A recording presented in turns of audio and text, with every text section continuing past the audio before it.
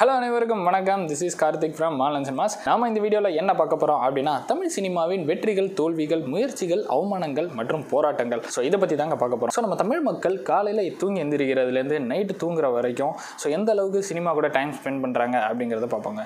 ஏன்னா காலையில் தூங்கி முடிச்சோடனே மொபைல் எடுத்தாலும் சரி அடுத்து டிவி ஆன் பண்ணாலும் சரி அடுத்த ஃப்ரெண்ட்ஸ் கூட பேசினாலும் சரி ஸோ மேக்ஸிமம் டைம் வந்து சினிமா கூட தான் டைம் ஸ்பெண்ட் பண்ணுறாங்க அப்படிப்பட்ட தமிழ் சினிமாவில் ஒரு ஆர்டிஸ்ட் தனக்குன்னு ஒரு அடையாளம் மற்றும் அங்கீகாரத்தை பெறுறதுக்கு குறைஞ்ச குறைஞ்சபட்சம் அஞ்சு டு ஏழு வருஷமாச்சும் கடின போராட்டத்துக்கு அப்புறம் தாங்க அந்த இடத்துக்கு வராங்க. இன்னும் ஒரு சிலர்லாம் வந்து அதுக்கு மேலேயும் பத்து வருடம் கிட்ட போராட்டம் இந்த வரிசையில் நம்ம பார்க்கும்போது நம்ம விக்ரம் சாரை கூட எடுத்துக்கலாங்க. ஒரு பெஸ்ட் எக்ஸாம்பிளாக ஏன்னா பத்து வருடமாக தமிழ் சினிமாவில் ரொம்பவே கஷ்டப்பட்டு ரொம்பவே போராடி அவங்களுக்குன்னு ஒரு அங்கீகாரம் பெற்றது வந்து சேது படத்தில் இருந்தாங்க. அவங்களுக்குன்னு அந்த ஒரு ஃபேஸ் எல்லாருமே அக்செப்ட் பண்ணிக்க ஆரம்பித்தோம் ஸோ அதுக்கு முன்னாடி எத்தனை படம் பண்ணியிருந்தாலும் சரி அவங்களுக்கான ஒரு அங்கீகாரம் கிடைக்காம தான் இருந்துச்சு இது ஹீரோக்கு மட்டும் கிடையாதுங்க. ஹீரோயினாக இருந்தாலும் சரி காமெடியனாக இருந்தாலும் சரி வில்லனாக இருந்தாலும் சரி கேரக்டர் ஆர்டிஸ்ட்ன்றவங்களா இருந்தாலும் சரிங்க.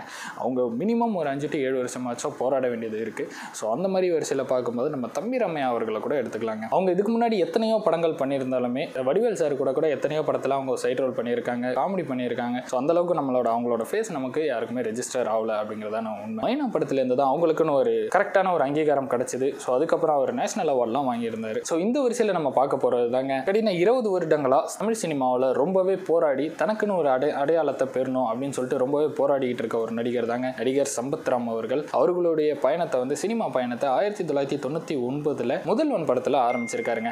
அப்போ ஆரம்பித்து இருபது இருபது வருஷ காலங்களில் இரநூறு படங்கள் கிட்டத்தட்ட பண்ணியிருக்காரு அவர் தமிழில் மட்டும் கிடையாதுங்க. கன்னடம் ஹிந்தி தெலுங்கு மற்றும் மலையாளத்தில் ஸோ இந்த மாதிரி பல்வேறு மொழிகளில் கூட அவர் படம் பண்ணிக்கிட்டு இருக்காரு. ஆனாலும் அவருக்கு சரியான ஒரு அங்கீகாரம் கிடைக்கல அப்படின்னு தாங்க சொல்லணும். அவருக்குன்னு அங்கீகாரம் கிடைச்ச படம் அப்படின்னு பார்த்தீங்கன்னா திமிரு பிடிச்சவன் படத்தில் வந்து போலீஸ் ரோல் பண்ணியிருப்பாருங்க. அதில் ரொம்பவே நல்லா பண்ணியிருப்பாரு அப்படின்னு சொல்லியிருந்தாங்க. ஸோ அதுக்கப்புறம் காஞ்சனா த்ரீ படத்தில் வந்து ஒரு அகோரி கெட்டப்பில் வந்து எல்லாரையுமே கொஞ்சம் மிரள வச்சுருப்பாருங்க. அந்த படத்தில் அவருக்கான ஒரு அங்கீகாரம் கிடைச்சது. இருபது வருட போராட்டங்களுக்கு பிறகு அவருடைய இருநூறாவது படமான கசகசா படத்தை வந்து அவர் முதன்மை வேடத்தில் நடிச்சிருக்காருங்க.